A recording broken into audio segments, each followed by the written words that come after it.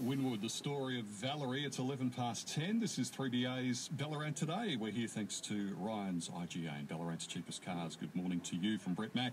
What happens when you mix classical music together with jazz and rock? It's an interesting fusion combination. You get this thing on vinyl called Mr. Wizard. Let's find out about this brand new album this morning from Ballarat Gal currently studying at the VCA, if you don't mind, Izzy Skinner. Izzy, good morning to you. Good morning, Brett. Thanks for having me. Welcome to Ballarat today. Thank you. I don't think I've ever had someone come to the studio with a vinyl record, a big one, a 33 and a third under their arm. Well done to you. Well, It, you know, it looks really impressive. Thank you. And you've got you're on the cover, as you'd expect. You're the star of the show here, but you've got a special friend next to you. I do. I have my dog, Jari. he got a lot of treats to sit still for that picture. Well, he, uh, he's played his part very well. Tell us about Izzy Skinner as a kid. Were you one of those all singing, all dancing types? Well, not really. I kind of went to a Steiner school, and um, they teach music early on in the curriculum. And I loved the violin the minute I picked it up, really.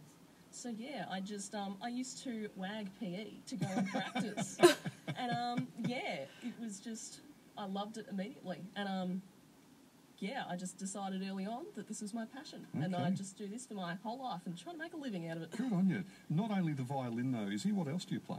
Oh well, I do a bit of singing, I play a bit of bass and a bit of guitar. Show off. So many overachievers on this program. It is unbelievable.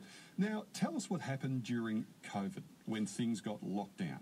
Well, as you can imagine, it was pretty weird, you know, being in a band and not being able to see each other physically in a room. So, um, recording became a focus of like all our activities. So, a lot of my band members like recorded to a click track and we sent it to each other and uh, mixed it that way. And it was a bit frustrating at 1st But I did find a love for recording and then I got into composing from there. So, all the songs on Mr. Wizard uh, are, are your tracks? You've written them all? Yeah, one is a rearrangement of a Scarlet Rivera tune and um, another tune by um, Papa John Creach, but the rest are all mine. Classical jazz and rock together. What were you thinking, Izzy? Well, honestly, um, I've always loved rock the best, but um, to study music at the VCA, it's either classical or jazz, so I had to make a choice.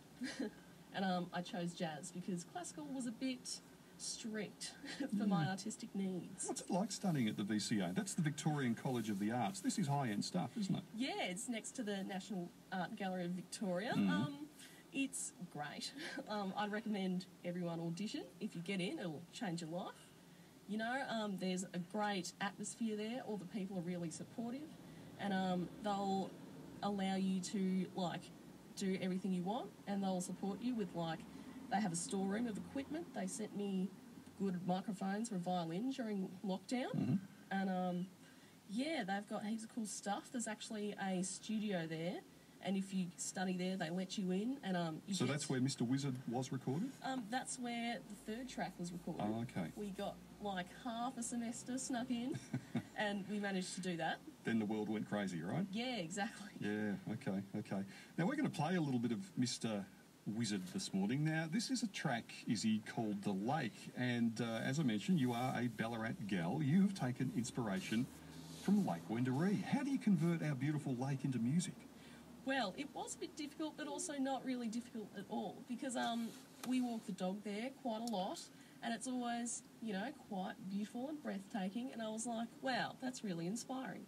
So I used a loop pedal, and um, I created layers to kind of represent the water and all the natural elements around the lake. And I tried to bring in variation through that, and I think it's a fun song. I think you've achieved that. Let's have a listen, and you might talk us through some of it, uh, Izzy, on what the lake sounds like. If you've always wondered what Lake Wendouree sounds like in music, today's the day. So that's you on the violin. It is, and um, I have pizz lines, and um, that clicking sound is also me with my bow tapping on the strings. And um, I tried to make a spacious, kind of watery vibe. I'm not sure if that's coming through. Oh, yeah. Yeah, I tried to use legato tones, and I kept it all in one tonality. To represent a calm day. Sounds very soothing. You're absolutely right. Calm and, and soothing it is. Is that sort of a theme of, of Mr. Wizard? Um, for some of them, it's it's quite a range of genres. Like the first track, Mr. Wizard, is alternative rock, and there's a tiny bit of yelling in there if you're into that. um, the third track is um, in Spanish, and it's a bit of a Latin jazz fusion. And um, I've got like five instrumentals. One's bluesy, you know, one's called banjo song, and it's a bit sad and folklore. Okay, so if you want an album full of surprises, full of different moods, Mr. Wizard is for you. Why the name, Mr. Wizard? What's that all about? Well, I think the first track is the best track, and um, yeah, I don't know. I like a bit of wizardry, I suppose. so there's no real deep and meaningful meaning behind it. You just like wizards, right? yeah, I think so. It suits the colour scheme. It's a bit Yeah. mystical. That's okay. There's nothing wrong with that. Now, Izzy, as I mentioned at the top of our chat today, you brought your album in on vinyl. Yeah. Why did you choose to go all retro on us? Well, I think retro's coming back.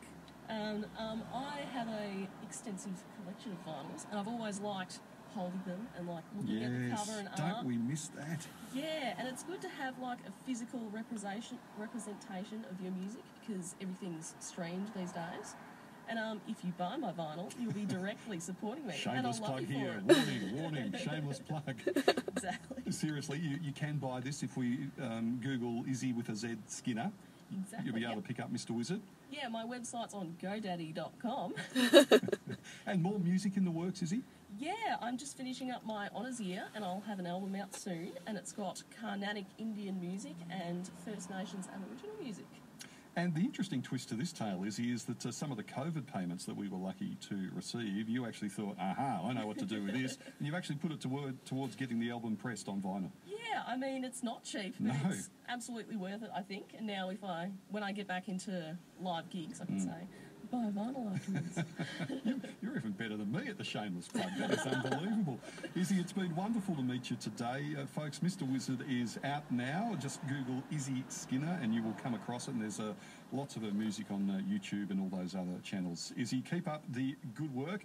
Thanks for sharing Mr. Wizard, Wizard with us on Ballarat today. Thanks for having me, Brett. Year 12 formal. It was supposed to be the best night of our